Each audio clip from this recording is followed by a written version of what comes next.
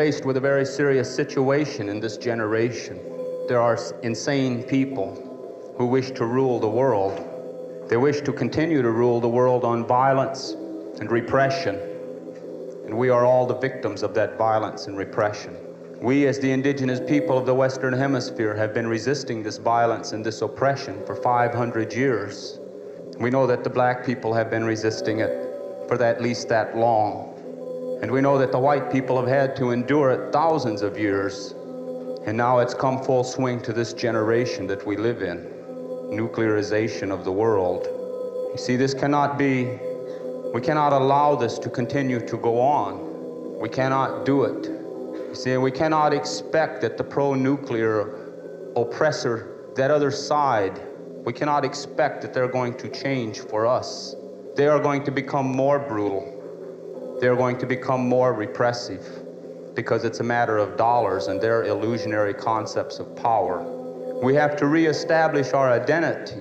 We have to understand who we are and where we fit in the natural order of the world. Because our oppressor deals in illusions. They tell us that it is power, but it is not power. They may have all the guns and they may have all the racist laws and judges and they may control all the money, but that is not power. These are imitations of power, and they are only power because in our minds we allow it to be power. But it's all an imitation.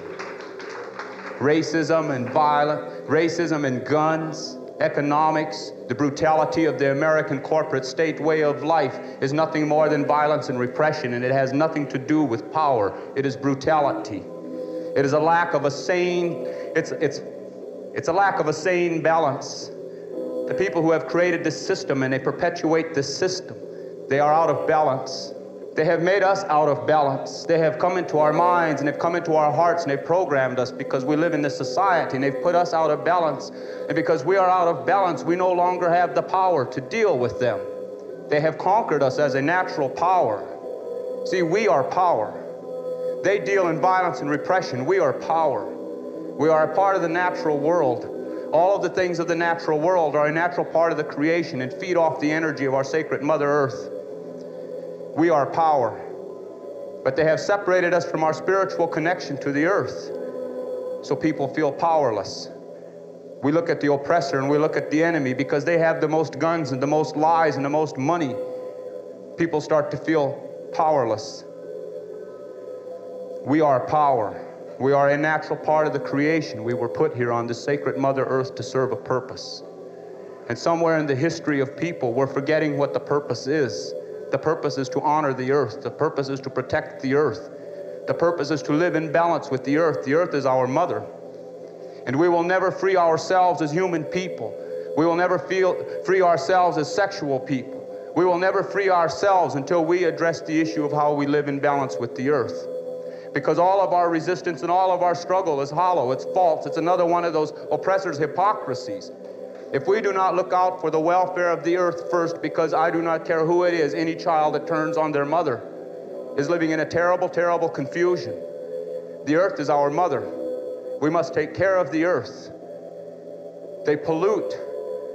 This oppressor, this machine, this machine that has gone mad and run amok, it is berserk. They keep telling us, you know, progress. They keep telling us face reality. Well, let's deal with reality reality is the earth can no longer take this attack. We cannot, we can no longer allow this thing to continue where it's polluting the air, it's polluting the water, it's polluting our food. They pollute the air, they pollute the water, they pollute our food, they pollute our minds. They put us out of balance. They have made us be insecure with ourselves. They have put us into a situation where we have to play many roles.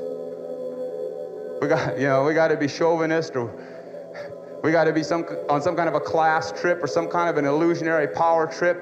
We got to play a role, see? We got to play a role to communicate with other people. We got to go through this charade because they have attacked our self confidence.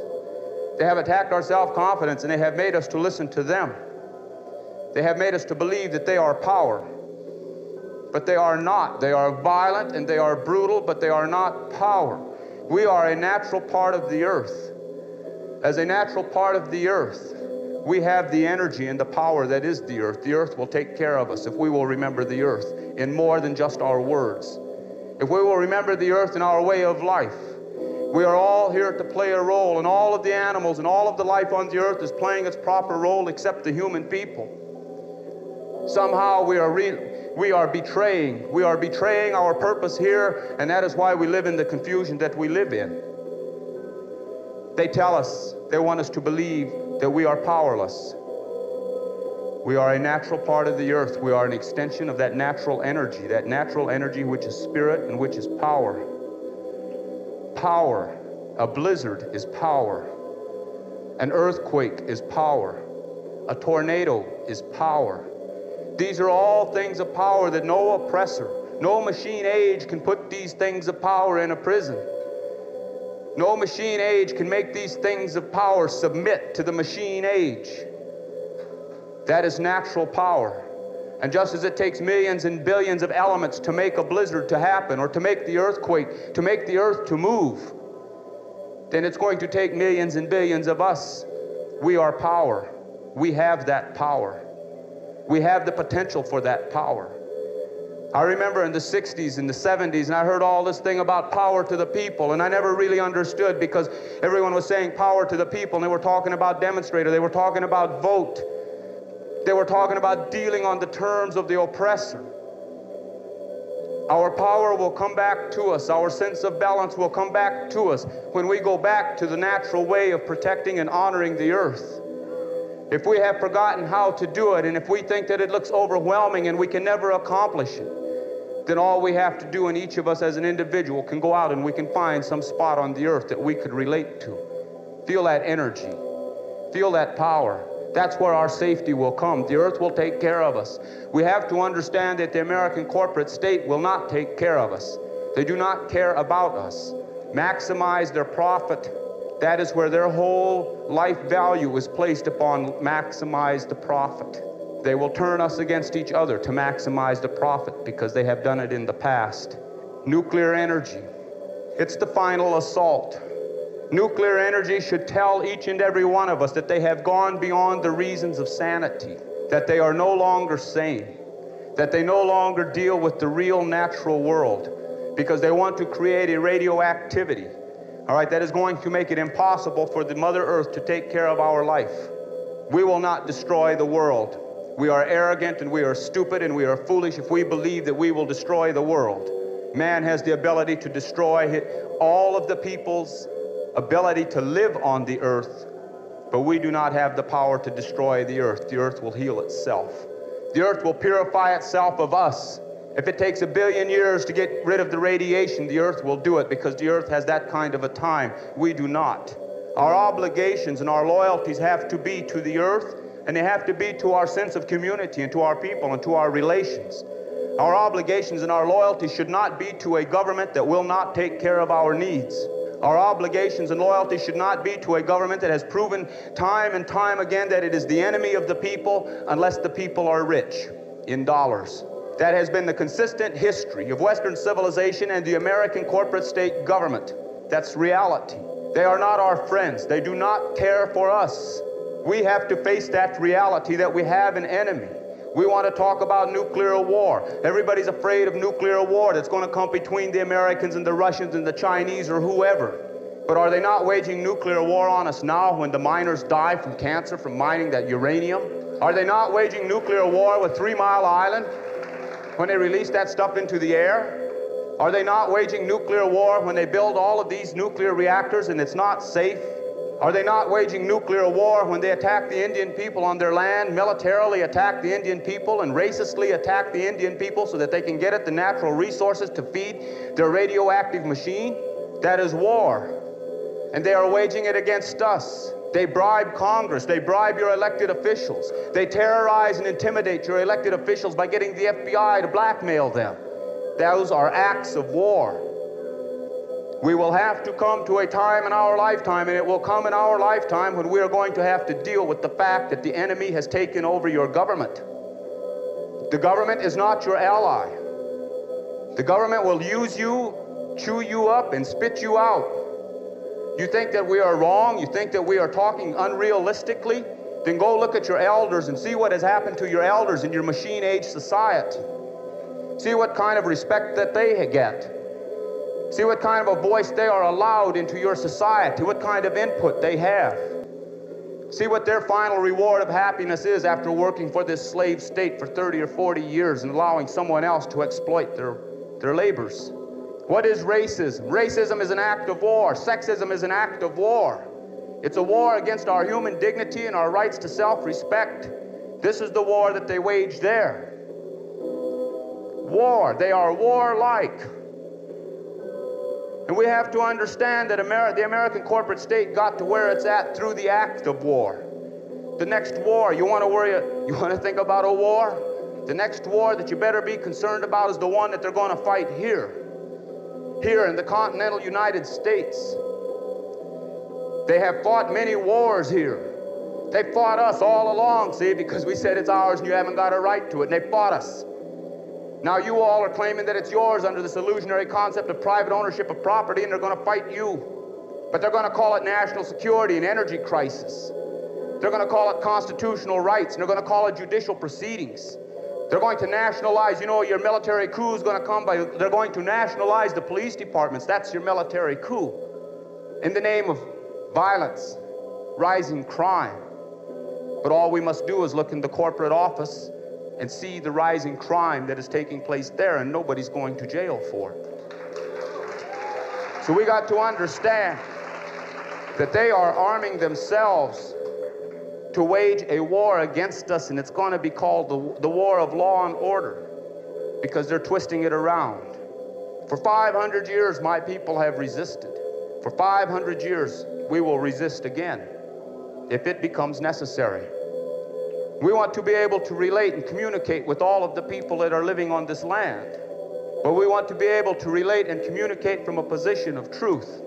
You all got to face the truth. We have had to face it through 500 years of genocide. We have had to face the truth. We have had to live the truth. We have had to die the truth before we're going to ever see our evolutionary liberation. The people that call themselves Americans are going to have to face the truth also. They tell us to be realistic, that progress means all these things have to happen. They tell us that we can't go back to the old way. They tell us be realistic. But there is no old way, no new way. There is a way of life. We must live in balance with the earth. We must do it. We have no choice. If we allow ourselves to, to be apathetic, or we allow ourselves to be lied to or tolerate their lies about what they are doing to the earth, then we are betraying our intention. We are betraying our purpose here. We cannot protect that seventh generation if we do not protect the earth. We cannot protect ourselves if we do not protect the earth. The earth gives us life, not the American government. The earth gives us life, not the multinational corporate government. The earth gives us life. We need to have the earth. We must have it. Otherwise, our life will be no more. So we must resist what they do. They want to break our spirit. They will do everything and anything to break our spirit, our will to live. We must learn to resist. We must learn to see. We must learn to look. We must learn to step out of this reactionaryism. All of our lives, they've had control of us through their schools and through their TV, their electronic media. They've had control of us all of our lives. They have programmed us. They have made us become reactionary. We don't think, we react to what they do. We don't think, we react to everything that they do, we react to it. They're setting us up in the 80s because they know consistently throughout the past the people have always reacted to what they have, to their manipulations of circumstance. They know that the people always react. They're counting on it in the 80s. See, and they outnumber us with guns, they outnumber us with money, they outnumber us with votes. They control all the machines that count the votes. They got it all stacked in their favor, except there's a key. The key is we must start thinking and stop reacting. They have, the oppressor has no thinkers, they have no philosophers. It's all scientific. It's all economic. It's all manipulative. They have no thinkers. You go look and you deal with the enemy, and what the enemy does is you the enemy will send somebody out on the street to hit you in the head, and the guy says, I'm only taking my orders. And if you're if you can come from a position of strength to this guy that's hitting you in the head and say, Hey, you gotta stop hitting me in the head, we want to talk, then he says, Well, I have to go to my superior to see. They have no thinkers either. If we will start to think and we will learn to see, to see what reality really is, we will outnumber them through the thinking process. We will take our minds away from them because through their manipulation of our mind, they control our spirit. And they know this is true. They tell us, see, they want us to believe that we are powerless. They want us to believe that we are becoming overwhelmed, that they can overwhelm us. You see, but they're paranoid. They are more paranoid than any of us are, no matter what happens to us. Because, see, they have to put people in here to come and listen to what we're saying so they can go back and tell. So they're afraid. They're afraid because they know we're talking about reality. Now, why are they afraid? They are afraid because they know that they are dealing with the illusions of power, which are based on the realities of violence and brutality.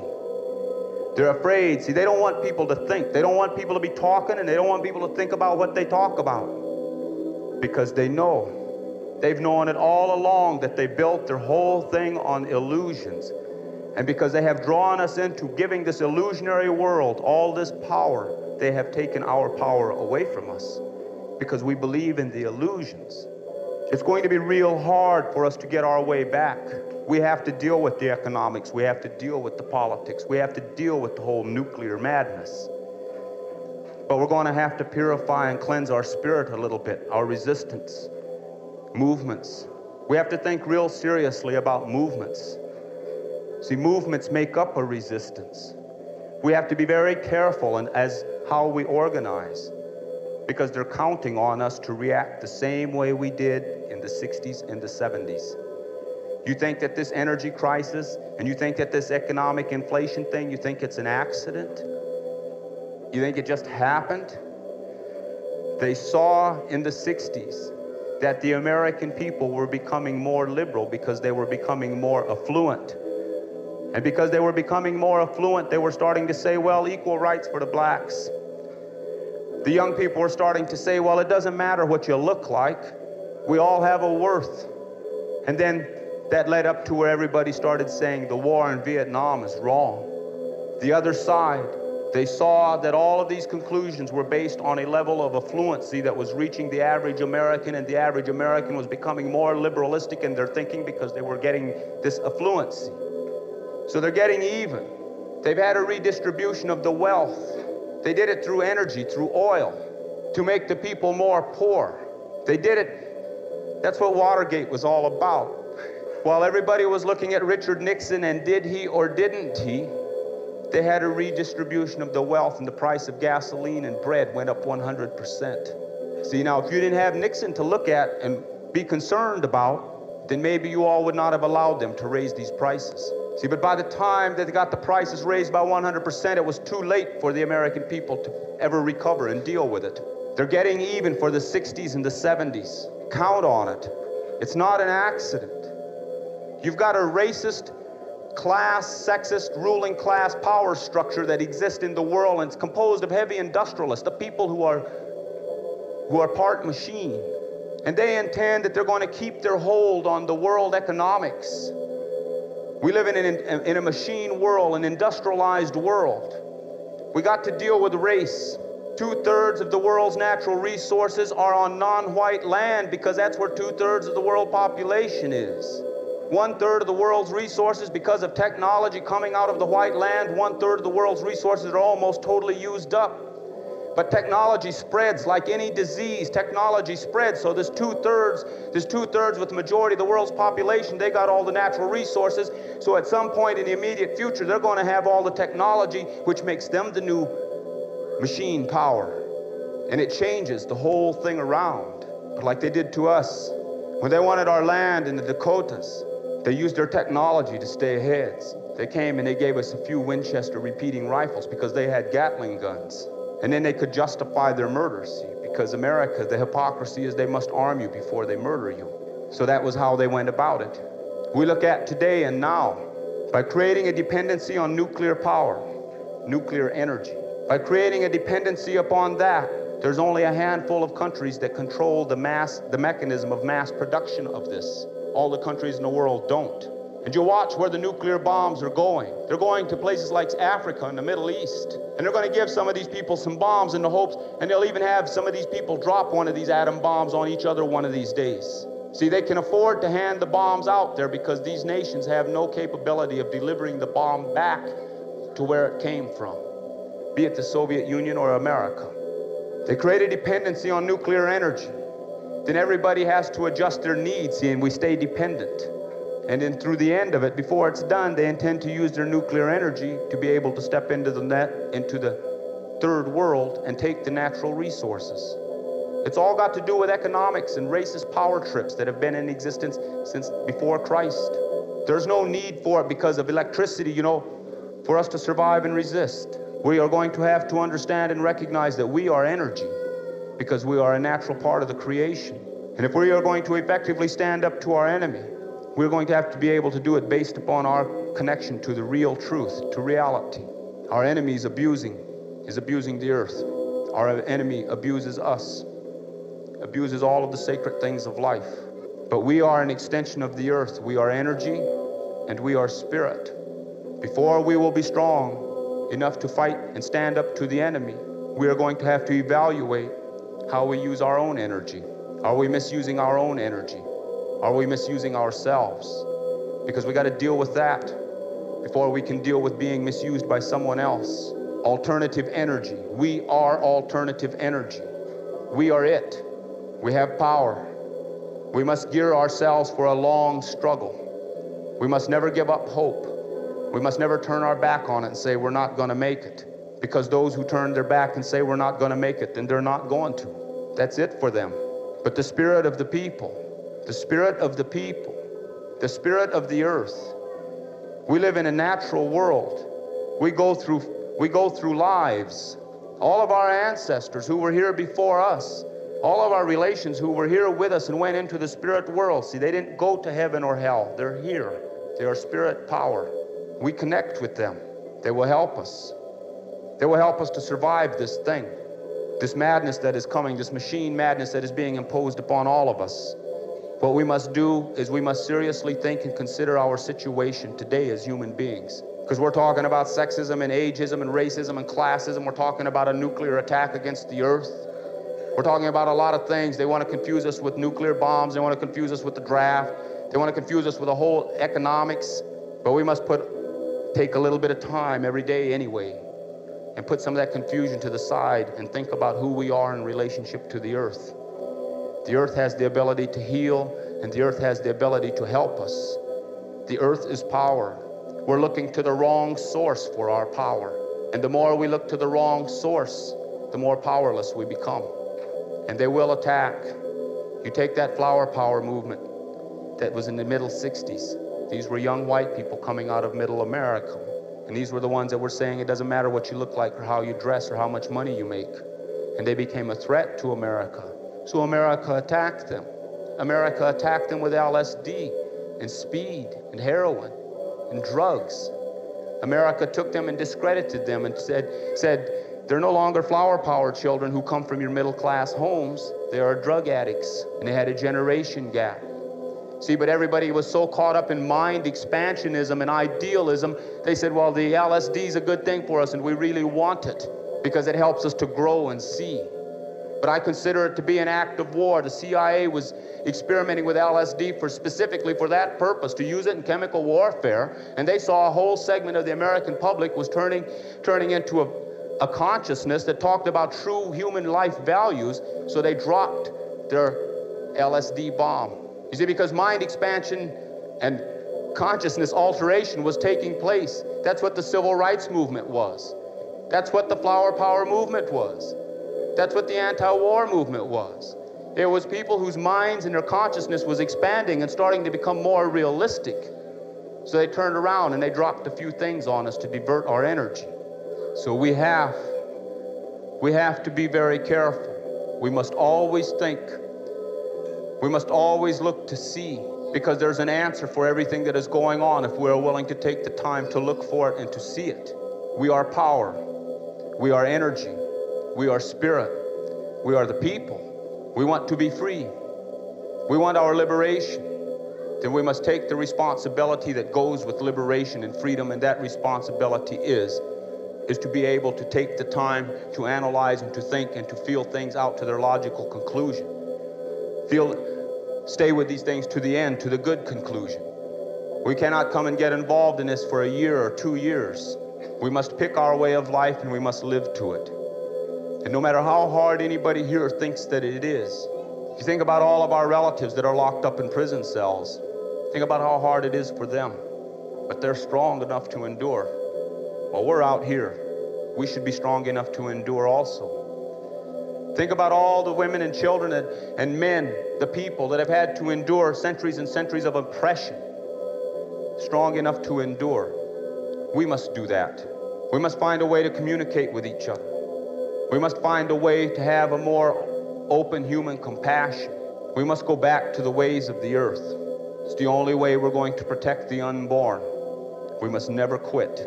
We must be resistance. We must build a resistance that passes on the information and the knowledge of our mistakes to the next generation. We must not become too movement oriented where we get caught up in our own arrogance because we're chasing a cause. We must build our power. And we must understand that we build strong. We must build to survive, not to change the politics right now. We must build to survive because pretty soon, pretty soon, a lot of these conversations will not, they will not allow them to take place anymore. Pretty soon we're going to have to be looking at each other in a way where we're either where we're allies. There's going to come a time in our lifetime, and many of us will see it. There's going to come a time where we're going to have to run to each other for safety. That time is coming. And anyone who refuses to believe it, anyone who still believes the American lie that it can't happen here, then you have our sympathy. And we do not mean to offend you. Stay with us as long as you can, and when you see it start to happen, then you make your decision. Because Reagan, Reagan's not your enemy. Reagan's just, he's an actor. he's saying the words that somebody is putting into his hands to say. He's reading his script. And they got this thing well planned. And they intend that they're going to break the backbone of resistance in America and they're going to do it under their so-called energy crisis. I don't know what the answers are or the solutions, but we know that, let's pray. Every day we could pray. We could pray to the earth and we could pray to the ways that we believe and pray for some kind of understanding and take a little bit of time to get to know ourselves and be comfortable with ourselves. Take a little time, see, because the enemy has come into us. The enemy has the enemy is inside of us. The enemy exploits our ego exploits our needs and our wants. You know, there are things in this world that we need to have to survive. And there are things in this world that we want because we want them. We are going to have to relearn the difference. We're going to have to learn to take what we need, even if it means giving up some of the excess that we want. And if we cannot give too much to a way of life. I thank you for your time.